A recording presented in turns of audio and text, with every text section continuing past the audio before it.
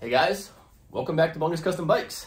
Today we're going to be working on the Kawasaki and it's going to be kind of sort of like a two-part video or excuse me, a second part from when we did the rust removal on the XS1100 tank. Today we're going to be doing rust removal on the KZ400 tank, but we're going to be doing a little bit kind of a different type of science. If you remember the video with the XS1100, we used electrolysis. So we used electricity in water that drew the rust off the tank to our sacrificial anode. Well, today we are using oh, a chain and vinegar. So vinegar or acetic acid reacts with iron oxide, which is rust, and will actually dissolve it. I don't remember what compound it turns it into, but it dissolves the rust. So this tank is pretty rusty. It's got a little bit of rust flake in it. So the first thing we're gonna do is we're gonna put the chain in it and shake it around and break all that rust loose. And then we're gonna fill it up with this 30% vinegar. So you say it's 30%. So this is much stronger than what you get in your uh, normal household grocery store. It comes from, you know, hardware store, but it's much stronger. So it will hopefully dissolve all the rust off that tank. Takes about 24 hours, the same as the electrolysis. And once it's all dissolved, we'll dump it out and hopefully have a clean tank. So if you like this video, please like the channel, subscribe to the channel. It helps out a lot. But without further ado, let's get started. All right, here's our tank. It is very rusty. If you listen, you can hear all the rust bits that are already in it. So we want to knock all that loose and get that out before we pour our vinegar in. So that's what the chain is for.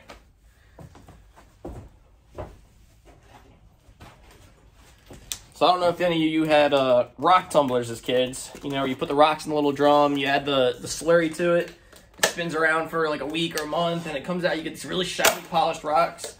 Well, it's essentially what our goal here is. We're gonna drop this chain into it, and then we're gonna shake it around, and hopefully let the chain knock all the debris loose. So let's go ahead and get this chain in there.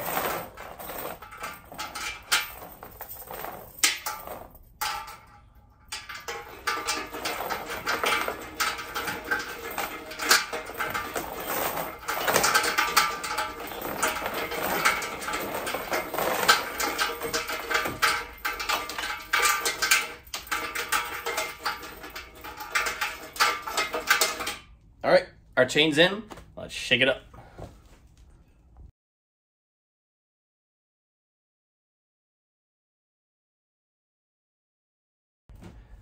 All right, got it real shaken up real good.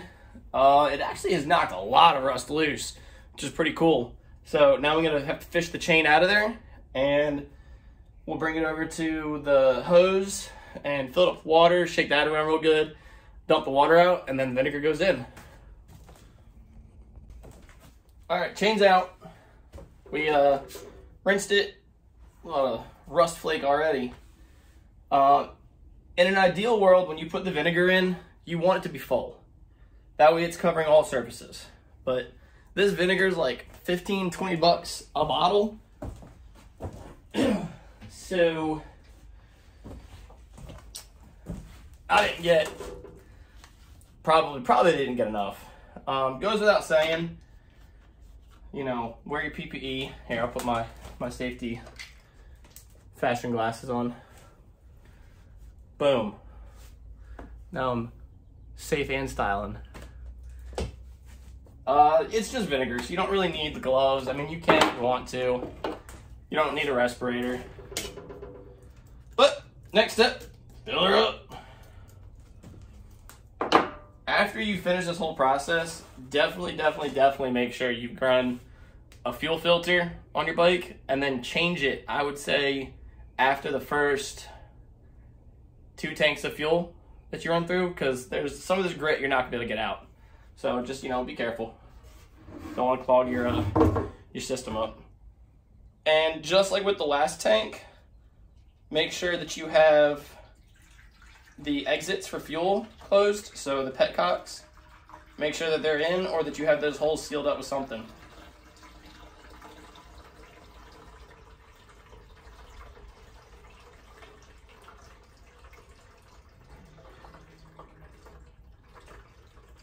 And I do suggest doing this in a relatively well ventilated area purely because it's vinegar and it smells. To my knowledge, this doesn't produce any like noxious fumes, but you know. I like to keep the bottles too, that way I have something to pour the vinegar back into when I dump it. Where's my other bottle? Here it is. Whew. So these are a gallon a piece, and I've got two. I'll save you the, the having to watch me pour another gallon in.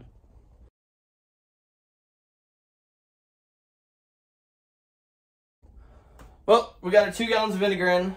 And apparently this is a three-ish gallon tank because it is not full. But, you know, that's all right. If you fill it up all the way, cool. You know, you don't have to, but if you do, you can uh, just kind of leave it. But if you don't fill it up all the way, I suggest every like, you know, hour or so, just coming and kind of giving it a little bloop, bloop, bloop, bloop, bloop, bloop, just to make sure that all the walls stay wet. Um, but I mean, the time it's gonna soak is gonna vary, based purely on how rusty it is. um, but the vinegar should, I mean, seriously, completely dissolve the rust. So we're just gonna let that sit now. We'll come back tomorrow and we'll check it. So you can see that real scummy looking water on top there. That means that the vinegar has dissolved a lot of that rust. Go ahead and get it dumped out and then washed out.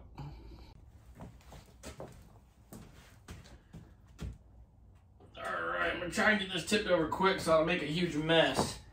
One, two,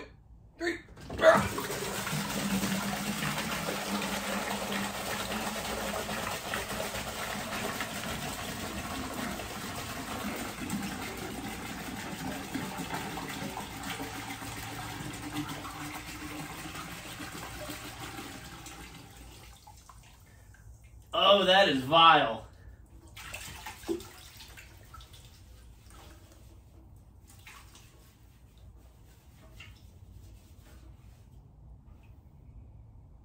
But it is clean, clean, clean.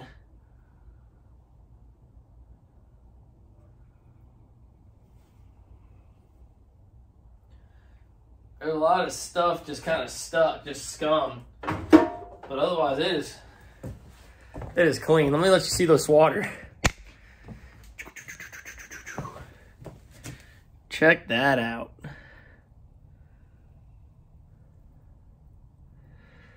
Ugh. So I'm gonna take this over to the uh, hose and spray it out, and then probably rinse it a few times, and then we'll uh, we'll put something in it to seal it.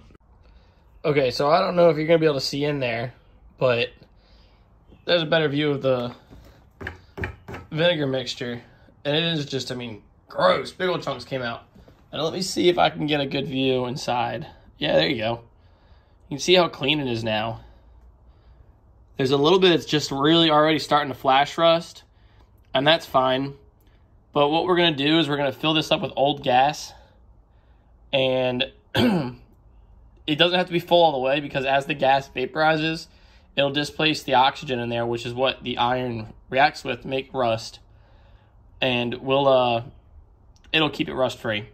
So hold on.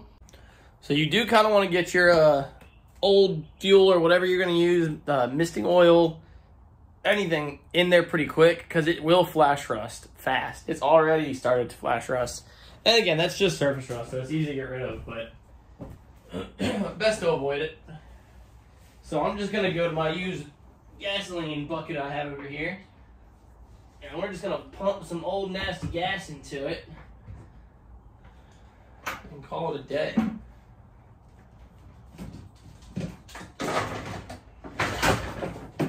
Obviously, make sure you pump this gas out before you turn the bike on. it's nasty gas.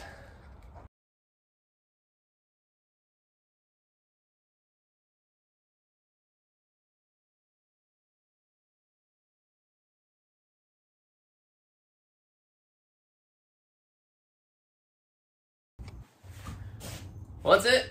That's all I got for you for today. That's another method of cleaning a tank. I hope it was helpful. Um, you know, you can check out my other video about uh, cleaning with electrolysis. And now you got this one about cleaning with vinegar. So, just to note, you do need the stronger vinegar, but I mean, as you saw, this tank was rusty. And vinegar got it clean, so pretty good method if you don't want to set up the whole battery and all that, but another tool for the toolbox. Hope you guys enjoyed the video. Stay riding.